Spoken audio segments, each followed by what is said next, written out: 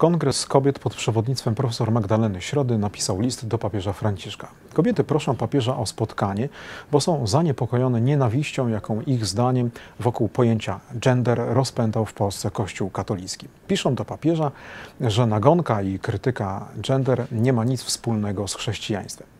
Rzeczywiście, w ostatnim czasie spór o gender przybrał w Polsce na sile, ale winne są tutaj obie strony. Pisząc do papieża list, kobiety nie zauważają lub może nie chcą zauważyć, że gender nie jest krytykowany dlatego, że dąży się do zrównania praw kobiet i mężczyzn, ale do zamazywania różnic pomiędzy płciami. Innymi słowy mówiąc, że mężczyzna przestanie być mężczyzną, a kobieta kobietą. Inna sprawa, że ludziom Kościoła przez być może brak oczytania w humanistyce, zdarza się, że wrzucają pod wspólny mianownik gender różne pojęcia. Zatem jeśli kobiety chcą poważnie rozmawiać o gender, winny raczej zacząć pewną akcję uświadamiającą, w czym naprawdę rzecz.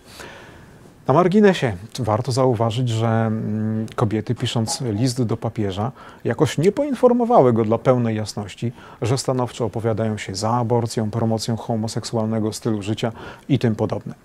W ciągu kilku miesięcy swojego pontyfikatu papież Franciszek odpisywał już na listy wielu osób. Dopuszcza dialog z osobami niewierzącymi. Może pochyli się również nad problemami polskich feministek.